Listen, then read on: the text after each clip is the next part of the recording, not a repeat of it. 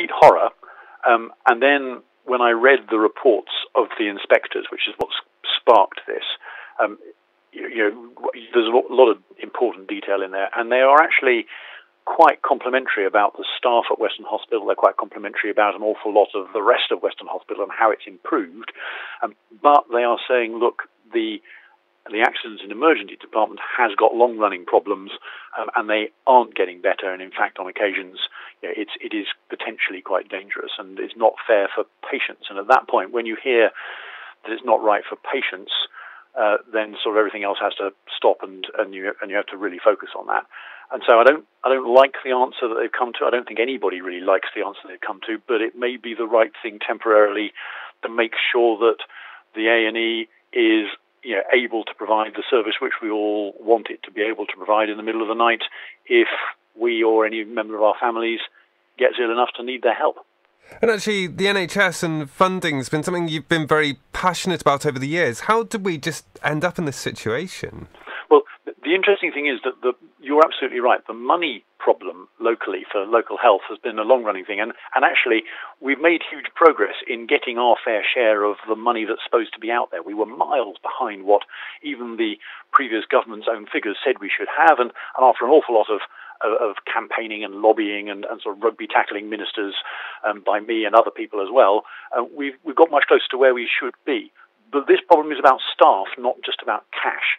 And the problem with it is that because Weston is a fairly small local hospital in, in the sort of national scale, um, they're having real problems uh, recruiting permanent staff to work in the accidents and emergency department. It doesn't help that there's a, a, national shortage of those kinds of staff already, but it means that Weston is often towards the back of the queue if you're trying to get someone to come and move to, to, to, to take up a permanent job.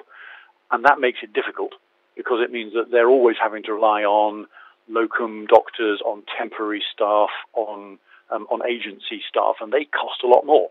So what you end up with is people who may be terribly good and terribly hardworking, but they're only there for a few weeks, a month or two, or something like that. They cost an awful lot more, which puts the budget under strain, um, and always living hand to mouth. So it's about staffing and about getting people who are going to be permanent members of staff in Weston that's been their underlying long-term problem, and it's and it's not a problem which, in spite of the best efforts of an awful lot of different uh, you know, uh, senior managers at the hospital and all sorts of other people, that they've been able to solve, and that's why we've ended up in, in this you know dreadful place.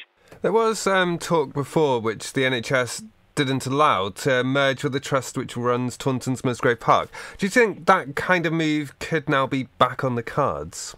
Um, yes, I think it could be. Um, not because Weston isn't a, a, good hospital. As I said, there's plenty of good things in the report about other parts of the hospital, but simply because if you share um, doctors and staffing with a bigger hospital trust, perhaps one of the ones in Bristol, if, if Taunton is, is, is not, not willing to do this, um, then you end up with, uh, you, you can then attract the kind of doctors, the permanent staff that you need, doctors and nurses, to solve the staffing problems that I was just describing. So yes, some kind of closer working relationship with one of the Bristol trusts, perhaps, if the Taunton one isn't on the, on the table, could be a really important part of the answer to attract the kind of long-term committed staff to Weston that Weston's been missing for so long. And um, I know health bosses are keen to stress it's only a temporary closure yeah. and they're expecting it to reopen in the winter. But it seems strange that we have long-standing problems and a temporary closure can address that.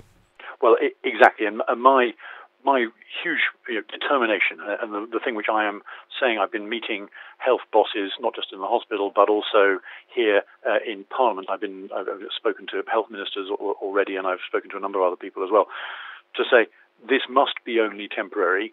This must be something which we can fix, and we need a timetable um, and, a, and a sort of a, a, a proper project plan to get this thing sorted out this is a, a wake up call. It's an opportunity for a reset. We need to use it. It isn't pleasant, it isn't good, it isn't what anybody wanted.